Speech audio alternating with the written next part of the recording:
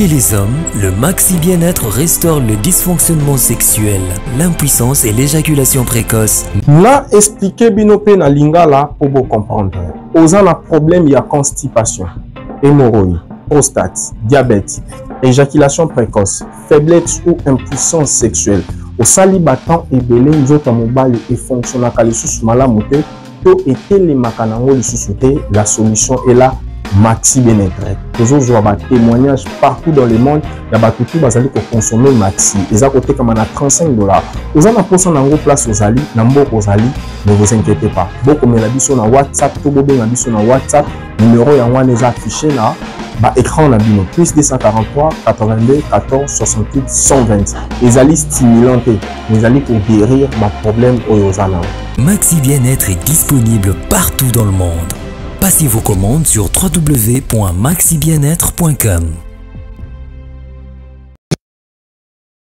Bonjour, bonjour, bonsoir, bonsoir na balandi na biso nyonso ya Top Info 24 télévision mbote mbote partout partout oyo bozwi libaku ya kolanda biso par la voie internet topesi bino mbote boza mpenza ebele ebele oyo bozwi libaku ya kolanda biso topesi mama na biso Bernadette Mwando topesi yo mbote mpe topesi ingénieur Bruno Kibambe topesi yo mbote mpe topesi l'homme sage Victor Tumba Chikela topesi yo mbote depuis Kalemi nzambe alola apambola apesa yo makasi apesa yo vision malamu mpe topesi mbote na bakongole nyonso oyo baza kolanda biso na ntango oyo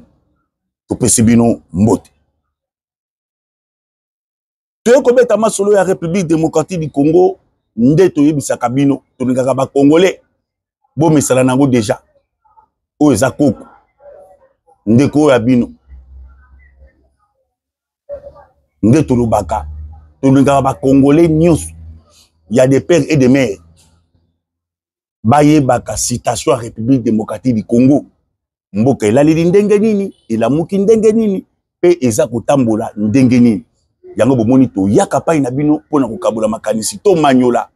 maye mazali koleka na kati ya république démocratique du congo tokosolola masolo mibale point liboso tokobeta ya déplacement ya episkopo nganga nzambe ya lokumu na niveau ya rwanda bakendaki conférence ya bapretre katolike tokobeta mpe masolo nango masola mibale tokobeta transition sans kabila nini oyo ebombami na se wana tokobeta masolo bozala toujours scotche branche na chaine na bino boyime ebele mpe bopartage bosabone na musa ndeko olobaka ekoko oyo akoti yo oza na canada états-unis partout mexique brésil na musa ndeko olobaka ekoko oyo akoti episkopo nganga nzambe ya lokumu akendaki na mboka ya rwanda awa tension emati na mitu ya bakongole episkopo e oyo ya biso e aza na rwanda e ah, ake kosala nini balobi ezalaki conference ya banganga nzambe na afrique centrale lokola episkopo azali president na bango nde akendaki sikoyo na kati ya politiki il faut toyebaka ennemi ya tata na yo aza mpe ennemi na yo awa nalingi bato bacomprendre toza contre eh, nganga nzambe te mais tozotala nde congo démocratique mboka ya bakoko oyo nzambe apesa bakoko bakoko mpe batikeli biso yango toza badescende ya mfumu kimbangu matondo ingeta enemi ya tata na yo oyo azolinga aboma tata na yo yo ntango oza mwana tyaka mpe na motu na yo ke enemi wana aza mpe enemi na yo mpo soki abomi tata na yo yo mpe vino ekokoma ya mamemame ntango mosusu okoki kokata kelasi ntango mosusu okoki kokoma mpe fazer ntango mosusu mpe vie ekoki kobeba mpo moto azwaka charge na yo ezali tata siko tata oyo ayo ya ndako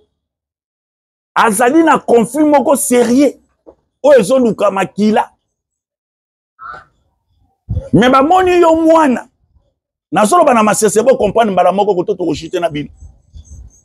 me bamoni yo mwana okei okay. epai ya enemi ya tata na yo mpo na nini lokola totangaka klasi moko na bana na ye po kozo koto nde conférence ekendi yango wana donc bake conférence mais conférence yango sikoyo na bafoye de tension oyo eza entre les deux pays république démocratique du congo na rwanda ifalaki tomona nganga nzambe ya lokumu apesa position na ye apartir ya position alingaki kopesa nde elingaki elakisa na monde antie mobimba na, na romi na bango vatican bango bakomprendre te likambo oyo ekomi mpena serie ekomi mpena serie mpo tozobunda bitumba njoto na ya molimo lelo kati na république démocratique du congo soki kimi eza te na congo mobimba nandimi te ke eglize ekobondela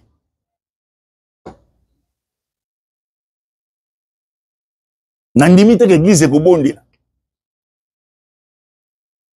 mpo na niveau ya ukraine ndenge russie azobwaka ya poutine azobwaka biloko baza mpe na bapastere na beveki nandimi te bakokota so bato na baeglise mpo babi e eh, tokokota na katridala mwatatu e eh! bombi toma oyo akokwelela bato apa e eh, mbadi palo moto tafala na ndako na motu e me tomoni awa epai na biso eza le contraire donc nganga nzambe atali intere ya nation te atali mpe intere ya peuple, ya peuple congolais te parce que bato bato oyo paul gagame azoboma na niveau ya goma na kati mpe bakretien katoliki bazali na lolenge oyo paul kagame apesaki parole epai ya beveki na bango nyonso bobanda koteya nani ayebi te ke na kati ya, ya kigali vi ya dictature oyo ezali kuna oyo batya yango deja en place esi ebota misisa paul kagame ayebisa bango meme ata batangisi bozotangisa bana bobanda koexplike bana kedoko bomoni sidi kivu wana eza mabele oyo nzambe alakaka bakoko na biso soki tozobunda na bakongole babotolaka biso mabele na biso nani ayebi te masolo oyo omoni mpe eveke rwandais azosalisa misa me azoloba makambo oyo paul kagame ayebisa ye siko ntango azoloba bongo azotya nini na mitu ya barwandais tosolola entre nous totala na mbuntu na mbuntu eh, totala na mbuntu na mbuntu ntango eveki rwandais azoteya bongo na eglize na bafidele te bomoni mabele ya sud kivu oyo bozomona yango kuna eh, eh. eza mabele nzambe alakaki bakoko na biso me bakongole oyo babotola biso mabele wana boyokaka ke komasi to te il faut bakende kobandela nano batala baborne ntango banganga nzambe ya rwanda bazoloba ndenge wana oyo ya biso kote oyo baloba eloko te ya biso koto oyo baloba eloko te ya biso koto eloko eza kaka nini ezali gratuité gouvernement azokoka te toboyi bachange constitution peuple azonyokwama nde eza boye regime oyo baye kokanga baoposa wana eglise na biso banganga nzambe ya biso awa me omoni kuna bango bazoloba lolenge mosusu so toye kokóma na ntango ya konferense na bango wana topesi ndakisa ya moke yango tozoluka ezalaki na langa nzembo moko ya république démocratique du congo bana nsomi badescende ya mfumu kimbangu ifalaka beta concert na niveau ya kigali me komona alanga nzembo wana abi te nakobeta te soki nabeti concert na kigali ezali comme si na crache na mémoire ya bacongolais oyo paul gagame azoboma butu na moi wana alanga nzembo posolaka balanga nzembo bamaniolaka bien te basala betida bien te me omoni moto bato oyo bofingaka ke balanga nzembo ah, batanga bien te balingi kaka babangi me na moto ameli bangi yango azomaniola eh, na moto ameli lika yango azomanyola abi te nini eh, olobi nini ngai ye eh, nakende eh, kobeta concert na rwanda eh. ah. oyo te dati otye bafishi abi te tete oza na succès na niveau afrika ngele abi te concert wana na nilam na obeta te mpo makambo ezosalama na masisi makambo ezosalama boye makambo ezosalama boye komona bandeko na ngai eh. bana bamama bazokima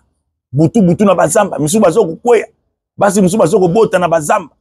likolo ya paul kagame bolelo sikoyo ngai ye eh, congolais de pere de mer descendant ya mfumu kimbangu e eh, nake na rwanda nini ah, sikoyo banani bakosepela barwandais babitala bololo ya kobeta concert awa tozoboma bango aye lisusu awa me alanga nzambe abitatatata okei te me boniboni bato ya mayele oke tolingaki banganga nzambe soki bapesaki message sinyo moko forte meme ata la communauté international ngo bakeli mm, mm, mm, likambo oyo meme ata vatican wana anga ba eh, ah, te oyo eza mambo église te habite na okei te parce que awa elingaki mpe interpele na baprêtre catholique ya rwanda mais poza na biso episkopo aye te bokoa boni te episkopo alobi eh, conférence yango soki ye meme ata na tanzanie ngai akende soki meme ata na burundi alingaki azala me lokola eza na rwanda be akoya te elingaki ochange badonne na biso nabi mabe nayebi te elingaki echange badonne parce que tata oyo ya ndako na yo aza enemi na tata oyo mosusu yo kasi tata ndako akosepela na yo ata na batitre na yo akosepela te ata akoloba te mayebaki anyongi nde bakongole ebele banyongi bato bakozwa ngo na ndenge ya ah, koko pe te te te te boteni nga rivière ebele te tozosolola tozopesana makanisi tozopesana makanisi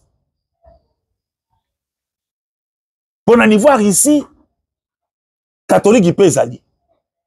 na niveau ya ukraine katolike mpe eza mais via baconflit na bango nde bato bazokufa nandimi te ke un prêtre ukrainien akoki koya akende réunion na niveau ya russie mpo na nini o vatican alobi aba te tokei te tolingaki mpe episkopo na biso nganga nzambe ya lokumu azwa courage wana mazwi courage te cestadire eza comme si apart makambo oyo bakengelaki ya convention na bango wana eza mpe na makambo mosusu basololi eza mpe na makambo mosusu basololi ntango makambo ya eglize esili basili kosolola makambo oyo basololi na tata okuna ezaka na bango mibale sekele ya mitema parce que bango nanu comportement na bango na kati ya république démocratique du congo bazokombattre nanu régime oyo oyo tout régime ezosala eza kaka mabe régime epesi gratuité mabe régime epesi gratuité ya santé mabe regime euh,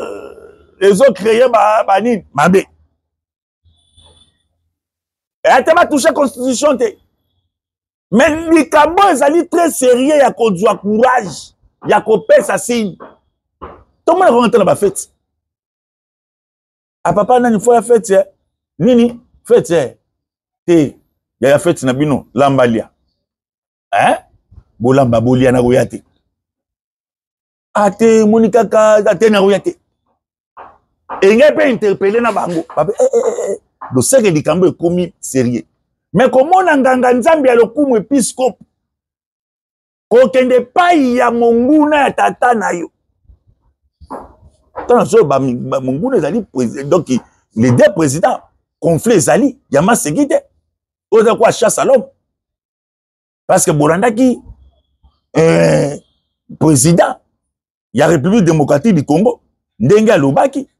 président alobaki claire président alobaki kenoki jamais nakoki koyamba paul kagame jamais nakoki kosolola na paul kagame wana président ya république démocratique du congo abi paul kagame aza ennemi ya peuple congolais wana président ya république ya démocratique du congo abi paul kagame aza ennemi ya, ya, ya peuple congolais paul kagame alingi kimia ya peuple congolais te na kosolola na ye te aya kozwa basoda na ye abima akende na bango me boni boni yo mwana parce que moto azali tata ezali chef de l'état ntango tata aboyi tata okuna yo mwana ata otangaka e, e, e, eteyelo moko na bana tata okuna mais faut pesa message faut pesa message c'est-à-dire à partir ya message na yo wana nde automatiquement tata okuna ocomprendre ke no ah, dose likambo oyo ndenge ekomeleli ekomi mabe parce que ozomona beveki rwandais bazoteya bazoyebisa bilenge ya kigali ke sidi kivu wana eza mabele bakoko balakaka biso me bakongole babotola biso eloko nini bazokotisa na kati ya bana ekoriske mpe bana mpe ya barwandi ya mike wana de 0 a 20 ans ntango bakokoma na maturité baya mpe kovange ata eza mabele na biso tokobunda mpona mabele na biso me eza mabele ya bakongole me koto omoni ya biso koto oyo eza kaka te gratuité wana ekosimba te changement constitution ekosalama te eh, pays nde eza boye me ole bazwa courage soki toye kotala tokomprani ke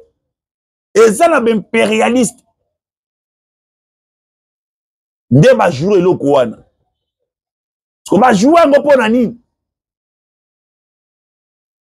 baki kocomprendre ke soki babengisi baopposant ana ah, namusi okofongola bino mpo nabiki ete mpe eza ngonga nabiki ete mpe eza ngonga tozokima nsima ngonga mpo teni koko barigere ebele te koko abaka doki nimero orange eza wala mpo mosu akomaka koko vraiment emission kitoko boye eh, esilika boye ngai te na nsima mashine doki batechnicien bazali oyo bapesaka ngai timing na ngai selon makoki ya ngai ah, yo mposo yango ete koko ekoma meme ata 1h30 yo kaka numero orange eza na se wana numero orange na se wana mais na baimperialiste baye kocomprendre nini bato bazobundisa congo soki tobengisi bopoza congolais basala descendre na niveau ya kigali ekorevese lokola bacongolais balingi bachange constitution ekorevese babakino kigali moto azoki koapuye opposition